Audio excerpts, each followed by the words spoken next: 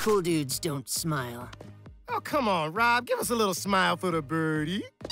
What, you, you think a dog toy is going to make me smile? We're two birds of a feather, aren't we, Robin? I want to be your friend. Tweet, tweet, tweet. He's my friend. Got it! Well, picture day was a disaster.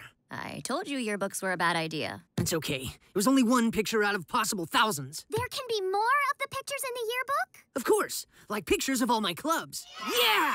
You're not in any clubs. I'm in a lot of clubs. I'm just the only member. There has to be two people in a club. Otherwise, it's just a sad and lonely little man hanging out with himself. Yeah, like we're in the Pancake Appreciation Society. Silver dollar short snacks, syrup for my flapjacks. Pancakes, pancakes, appreciate pancakes. Pancake Club! That's not a real club. It's real because I like pancakes for real, Mama. All it takes is two members. Ooh,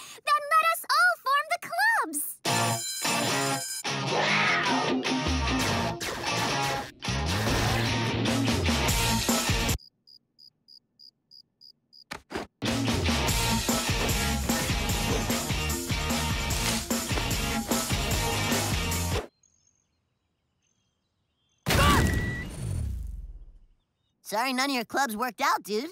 Haha, that's funny that you mentioned that. I just formed a new club. Anyone else want to join the People Who Talk to Themselves Club? I do, Robin. That's two members. Uh, me too. Whoa, this club is growing so fast. It's nice to meet so many fellow voices. I was worried about this. His need to be featured prominently in the yearbook is driving him cuckoo bird. Don't worry about me, Raven. I'll be featured. I'm a lock for the Yearbook Awards. Best hair, tightest pants. Don't forget the Most Voices in His Head Award. Why, thank you, Voice. And of course, most likely to succeed.